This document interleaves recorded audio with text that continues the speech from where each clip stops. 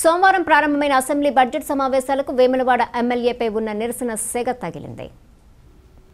సంవత్సర కాలంగా కనిపించకుండా పోయిన వేములవాడకు చెందిన టీఆర్ఎస్ శాసనసభ్యుడు చెన్నమనేని రమేష్ బాబు నియోజకవర్గంలో లేకుండా ప్రజల సమస్యలు పట్టించుకోకుండా కనిపించడం లేదని వేములవాడ నియోజకవర్గంలోని ఖతలాపూర్ చందుర్తి మండలం నుండి కాంగ్రెస్ నేతలు తరలివెళ్ళి అసెంబ్లీ ముట్టడించారు. ఈ సందర్భంగా పోలీసులు వారిని అడ్డుకొని బేగం బజార్ నారాయణగూడ పోలీస్ స్టేషన్లకు తరలించారు.